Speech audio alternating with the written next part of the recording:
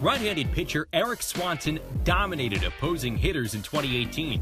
The 25-year-old starter was selected in the eighth round of the 2014 draft by the Texas Rangers and was acquired via trade in August of 2016.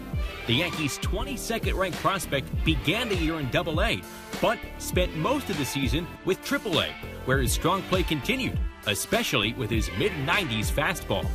I've learned how to pitch with it. You know, the whole analytics side of it, I, am not too involved with that. I do know my ball's got a little bit more carry on it, a little bit more ride, and I've learned how to pitch up in the zone with that. And since I've been able to do that, it's been a much more effective pitch for me than it has in past years. He throws an invisible I swear, because his fastball never gets hit. It's crazy how many strikeouts he has on his fastball. And if you talk to hitters, they say that his ball almost rises, is what it looks like. Big fastball. Hitters don't react to his fastball very well. His changeup is coming along, and his slider's coming along. I'm pretty much fastball dominant. I pitch with my fastball a lot.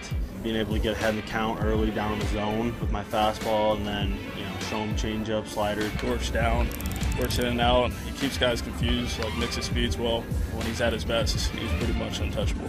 He was throwing a curveball the whole time in Trenton. Gets like his fifth or sixth start in Trenton, and he said, "Yeah, I'm, I'm going to bang the curveball and I'm going to start throwing the slider."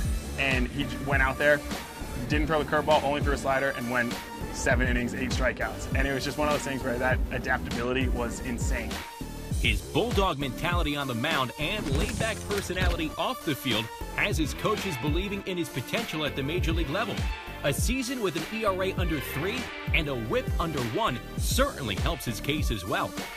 He's Got a bright future at the big league level as long as he keeps improving and getting better and better. And nobody works harder, so we expect that from him. But he's a big plus for us here. Our starting pitching is outstanding, and he's a big part of that. He's done a great job for us. Laid back, but when he's on the mound, he's a bulldog.